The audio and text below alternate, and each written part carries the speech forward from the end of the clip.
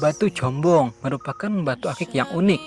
Dikatakan combong karena terdapat lubang di tengahnya atau ada cerukannya, sehingga proses pembentukan tidak sempurna. Namun, dibalik ketidaksempurnaannya itu, karena bisa dikatakan cacat. Batu combong ini memiliki keistimewaan dan keunggulan yang berbeda dibanding dengan lainnya.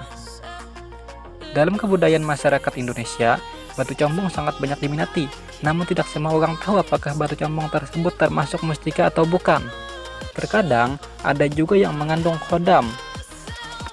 Batu combong yang mengandung kodam inilah yang disebut sebagai mustika batu combong.